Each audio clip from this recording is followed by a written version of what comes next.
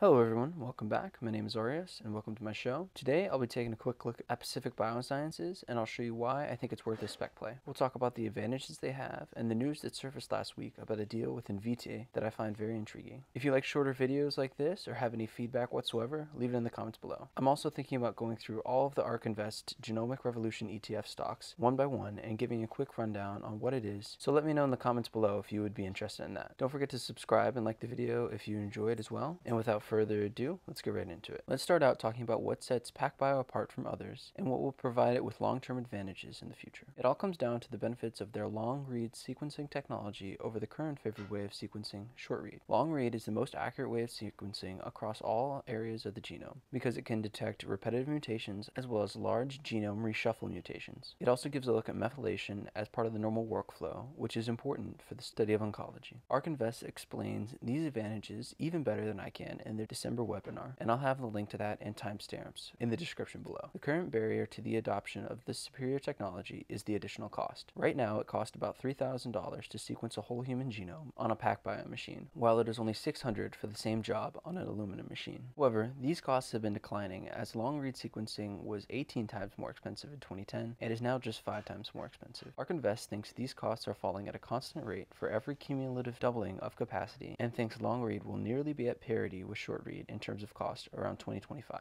These long-term cost declines, coupled with the superior qualities of long-range sequencing, will drive the long-term adoption of PacBio systems and away from Illumina systems. PacBio will be taking market share away from Illumina over the next decade, and I think Illumina knows this, as they tried to buy PacBio out about a year ago, but the deal fell through due to regulatory concerns. This is part of why ARK Invest sold off their Illumina position a few months back, as they came to realize that the 800-pound gorilla in the sequencing space with 90% market share was under threat. Let's move on to some news that came out over the last week during the JP Morgan Healthcare Conference. And this was that Invitae and PacBio had agreed to a collaboration to develop a production scale high throughput sequencing platform leveraging PacBio's long read technology. Invitae is another company that I hold, and for those who don't know, they are involved in the genetics testing space. Part of Invitae's mission is building a platform whereby a person's genome can be stored and referenced throughout their life anytime they need it. They are growing quickly and already have high scale. You can imagine how integral the best sequencing technology will be to this endeavor, and this is why they have partnered with PacBio. In their press release, they specifically set the target of delivering a clinically relevant whole human genome for substantially less than $1,000. This would allow for the high level of adoption in the clinic that I was referring to previously that would allow PacBio to take market share in the next generation sequencing market. Invitae has agreed to fund some of this development process in addition to the 300 million plus that PacBio has on their balance sheet, which will give them a few years at least with the current losses to complete this development. Let's move on to their potential, which I think even after more than a 10x in the stock in the last year may still be undervalued. Illumina is valued at $57 billion, while PacBio is only a $7.5